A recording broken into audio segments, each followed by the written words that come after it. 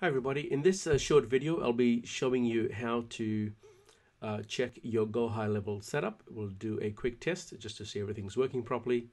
But before I do that, just want to summarize the, uh, the setup.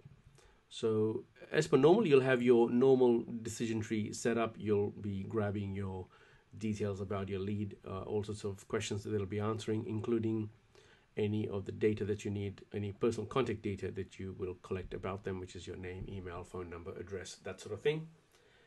At that point, you'll uh, transfer that across. So as soon as you've captured your phone uh, number, and you can see somewhere on this page a note about the phone. In fact, I'll uh, quickly refer to that. Okay, so just the setup about the phone number. Um, Go High Level needs the phone number to be sent um, in that kind of a format without any gaps and hyphens and, and brackets and that sort of thing. So we've got this script here and what that does, that takes the number that you're using and transforms it. So it does all this clean. And this is uh, thanks to uh, to Rob Olson who actually gave us uh, this whole thing. We're just uh, putting it up in a a well, kind of like we just wrote it up what he had explained. Uh, and the sample that he had given this is uh, his script. Um, so I'm just uh, and all I did was I just added one more here just to show the in console uh, the number printing as uh, the uh, lead goes through. So I'll share the the use of that shortly. So once the number is cleaned it is saved into a new field using this function here called the mobile underscore format or mobile underscore formatted I should say. And that's set up as a as a text uh, field actually. So you're saving a number into a text field. And uh, just to and so what we're doing now is making sure that we just set, set that up. So I'm going to show you where to put this here. If you go back into your decision tree as, as soon as you've grabbed the phone number on that same node or any node thereafter you need to add this script in. So it needs to fire on exit, okay, which is right here.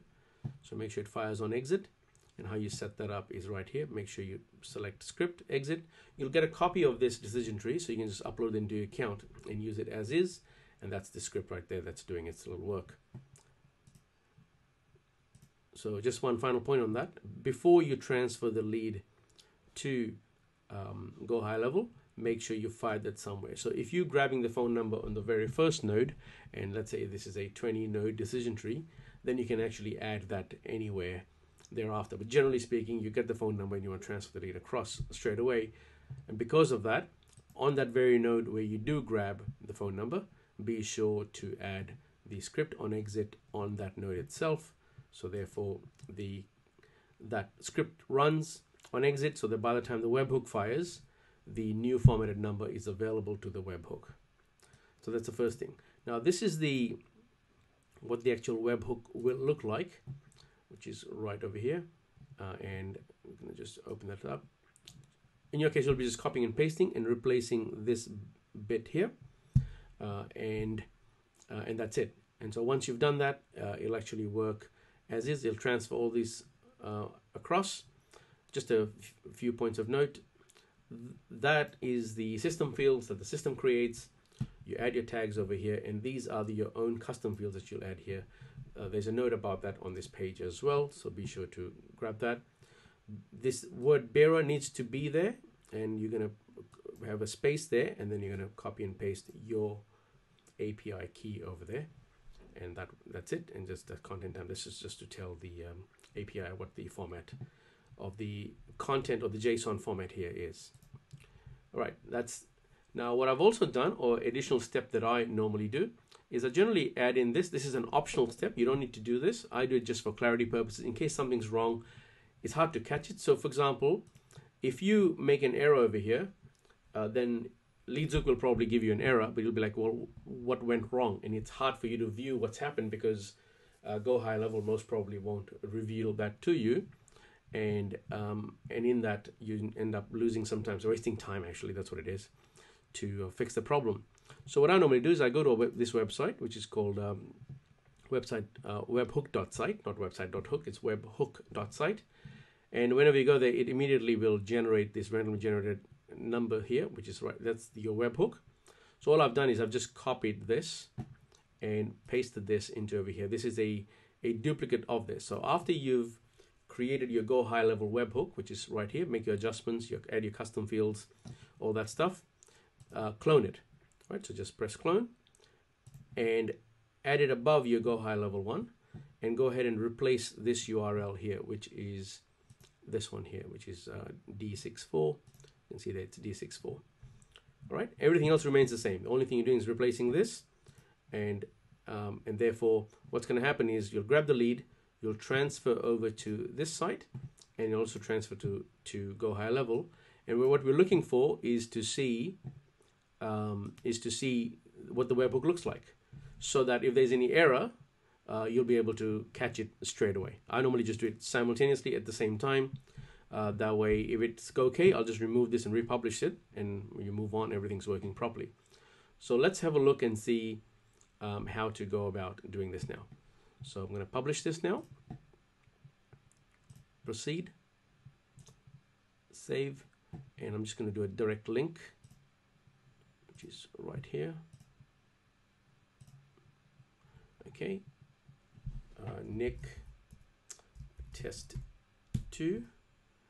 Uh, just a fake email there and a fake phone number. Right. So submit. And there you go. It's telling me, showing me both the numbers that are printed on this uh, final node. So let's have a look at webhook.site. You can see it's come through. And this is what it looks like. There you go. There's my Nick test 2 uh, my phone number is correct, my emails come through. A few of the details are missing, that's, that's perfectly fine. Uh, and finally, you can see that it's pushed through. If you're going to have your own custom fields, you're actually adding them right over here. Right, so that's coming through. Now let's go and have a look at Go High Level and see what's happened on that side. Everybody, so now you can see inside um, Go High Level, the leads come through. There's my phone number there. It's already formatted. Uh, there's my email and all the other details would pop up over here, including the tags that were sent through. So as you can see, the lead has come through quite uh, nicely into Go High Level. So all I want to do is um, get rid of this now uh, and republish it. So I won't do this now because I want to give you a copy of this. So what you will do is, is get rid of this, uh, add the connector, republish it, and uh, that's it, you're done that's the Go High Level integration done. Right, so I hope that gives you a good idea as to what to do. Uh, the most important part is the number formatting script. It's just a copy and paste. Um, or in your case, what you can do is import the decision tree that you'll see on this page and um, save this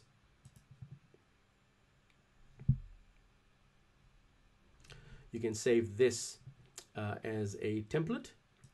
Your other option is to actually create a transition node uh, and I'll leave a link to that. Um, and then you can uh, just add that whenever you want to do a transfer to go high level.